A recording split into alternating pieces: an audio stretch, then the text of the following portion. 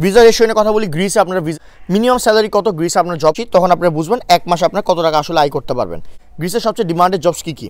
আমি আপনাদের টপ থেকে শুরু করে মানে সবচেয়ে বেশি ডিমান্ড থেকে শুরু করে তারপরে যেটা কম ডিমান্ড একটু ওইখানে যাইতেছি। অত বেশি পড়াশোনা করেন নাই, অত বেশি আপনাদের স্কিল নেই। আসসালামু আলাইকুম, আমি ইন্তিশার আজকে আমরা আপনাদের সাথে কথা বলব গ্রিস নিয়ে। এখন আপনারা জানেন, আমরা ইউরোপের অলরেডি একটা সিরিজ স্টার্ট করে দিচ্ছি আলহামদুলিল্লাহ। সেটা হলো ইউরোপে যে সাত সাতাইশটি সেনজিনভুক্ত দেশ আছে, অর্থাৎ ইউরোপের যে সাতাইশটি সেনজিন কান্ট্রিজগুলো আছে, সেই সেনজিন কান্ট্রিগুলো নিয়ে কিন্তু আজকে আমরা এই একটা ওই সিরিজের একটা পার্ট আজকে একটা আমরা করতেছি, সেটা হলো আপনাদের গ্রিস নিয়ে। তো আপনারা যারা যারা চাচ্ছেন ইউরোপে আসতে, লাইফ লাইফ সেট করতে ইনশাল্লাহ, আপনারা আমাদের চ্যানেলটা এখনই সাবস্ক্রাইব করে রাখুন হ্যাঁ যাতে আমাদের ফিউচারে যখন আপনাদের এই সিরিজগুলো ফাইভ সিক্স সেভেন আসবে আনটিল আনলিস আমরা ইউরোপের সবগুলো কান্ট্রিজ যেগুলো সেঞ্জিন সেগুলো কভার করে না ফেলি হ্যাঁ আপনারা সাবস্ক্রাইব করে ফেলেন যাতে আপনারা যখন আমাদের একটা সিরিজের একটা পার্ট আসুক, আপনারা দেখতে পারবেন ইনশাল্লাহ তো আজকে হলো পার্ট ফোর ইউরোপ, ইউরোপের দেশ গ্রিস সম্পর্কে জানুন। কথা না পারে ভিডিওটা স্টার্ট করি।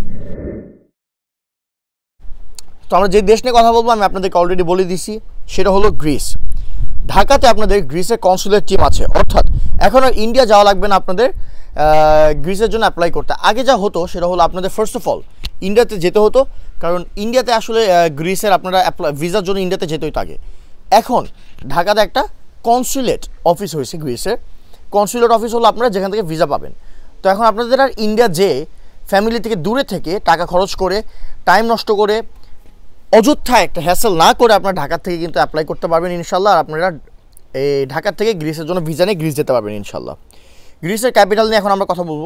গ্রিসের ক্যাপিটাল সিটি এমন একটা সিটি, আপনারা যারা পড়াশোনা করেছেন হিস্টোরি নিয়ে, হিস্টোরিতে আপনার, যারা একটু একটু স্ট্রং আপনারা জানবেন। এটা হলো আপনাদের অ্যাথেন্স হ্যাঁ গ্রিসের ক্যাপিটাল সিটি হলো অ্যাথেন্স তো আপনারা যারা হিস্টোরি নিয়ে পড়াশোনা করছেন, আপনারা অ্যাথেন্স নিয়ে নর্মালি সাধারণত ভালো করে জেনে থাকবেন।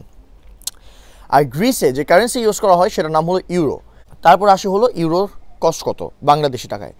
এখন আপনারা জানতে, যারা যারা জানতে চাচ্ছেন যে বাংলাদেশি টাকায় ইউরো এক ইউরো কত বাংলাদেশি টাকা হয় আপনারা আমার ভিডিওটা যখনই দেখবেন, আপনারা একটা জিনিস মনে রাখবেন যে আপনারা যেদিনই ভিডিওটা দেখতেছেন না কেন, আপনারা সেদিনের কিন্তু ইউরোর রেট ডিফারেন্ট হতে পারে কম্পেয়ার টু আমি আজকে যেদিন ভিডিওটা বানাচ্ছি। এখন আপনারা যদি জানতে চান এক ইউরো সমান কত টাকা হয়, আপনাদের যেতে হবে গুগলে গুগলে যে লিখতে হবে one euro to BDT BDT মানে হলো বাংলাদেশি টাকা। যদি আপনারা দেখেন ওয়ান ইউরো টু বিডিটি লিখে গুগলে সার্চ দেন, সঙ্গে সঙ্গে আপনি একটা রেট পেয়ে যাবেন যে উপরে লেখা থাকবে ওয়ান ইউরো আর নিচে লেখা থাকবে কত টাকা হয়। আজকের দিন আজকের দিন হলো আপনাদের পনেরোই October fifteenth of October two thousand twenty three আজকের দিনে আপনাদের, আমি যেদিন ভিডিওটা বানাচ্ছি এই আপনাদের ইউরো রেট হলো একশো ষোলো টাকা। অর্থাৎ এক ইউরো সমান একশো ষোলো টাকা হয়। আপনি যেই দেশে যাচ্ছেন, এই দেশে থাকবেন হয়তো বা আপনার দশ বছর থাকবেন, বিশ বছর থাকবেন। আপনার যদি সিরিয়াস হন, আপনি গ্রিসে যাবেন ওখানে ট্রাই করবেন ন্যাশনালিটি নেওয়ার। আপনাদের ফিউচার জেনারেশনের জন্য কিন্তু আপনার ভেবে শুনে একটা দেশ সিলেক্ট করতে হবে। এই জন্য আপনারা আমাদের যে সাতাশটি সেঞ্জিন কান্ট্রিগুলো আছে, সবগুলো ভিডিও দেখে নেবেন, যাতে আপনারা বুঝতে পারেন যে কোন দেশে গেলে শুধুমাত্র আপনার না, ভবিষ্যতেও আপনাদের ফ্যামিলি মেম্বারদের উপকার হয়। ঠিক আছে? তো এখন আমরা কথা বলতেছি কান্ট্রির সাইজ নিয়ে।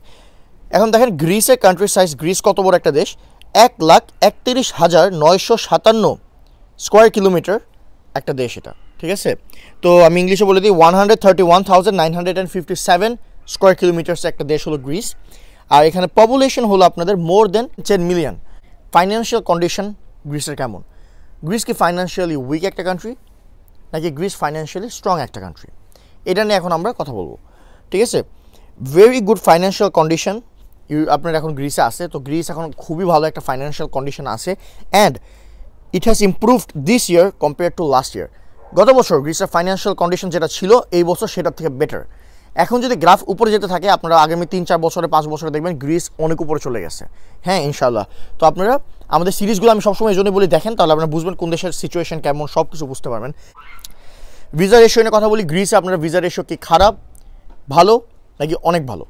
এটা নিয়ে যদি আমরা কথা বলি, গ্রিসে আপনাদের ভিসা রেশিও গুড আপনাদের ভালো ভিসা রেশিও গ্রিসে আপনাদের। ওয়ার্ক পারমিট ভিসা নিয়ে কি বাংলাদেশ থেকে আপনারা গ্রিসে আসতে পারবেন কি না? এটা আপনাদের কারও কারও প্রশ্ন হতে পারে?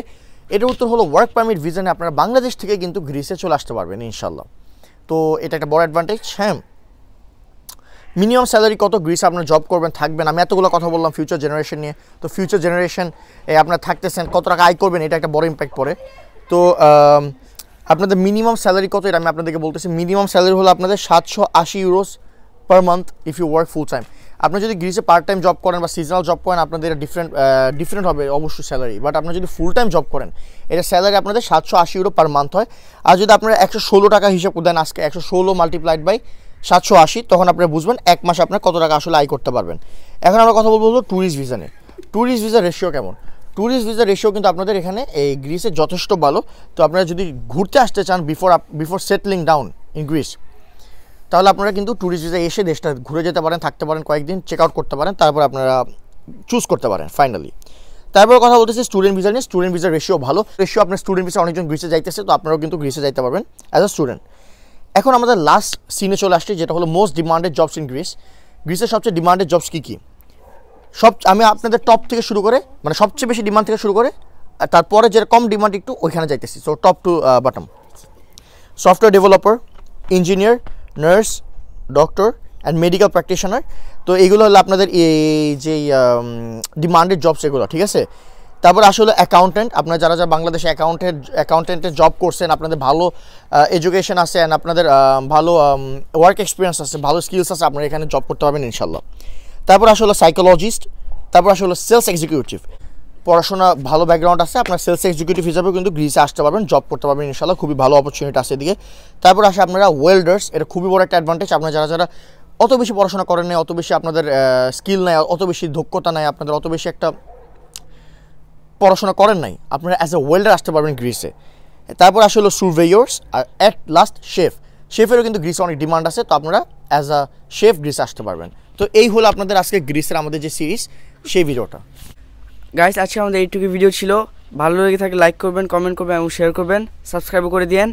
আমাদের ফেসবুকে একটা পেজ আছে ইন্তিশার হিনা ব্লগস ওখানে আপনারা ফলো করে দিবেন। আর আরেকটা ইউটিউব চ্যানেল আছে মাকফ্রা ইন ফ্রান্স ওইখানেও সাবস্ক্রাইব করে দিবেন। আমার ইনস্টাগ্রাম হচ্ছে ইহিরাম আন্ডারস্কোর থ্রি সিক্স ছোটো হাতে এটা টি ভাইটা হচ্ছে ইন্তিশার ইহিরাম ব্লগস এটাই ছিল আজকে আমাদের ভিডিও আল্লাহ হাফেজ.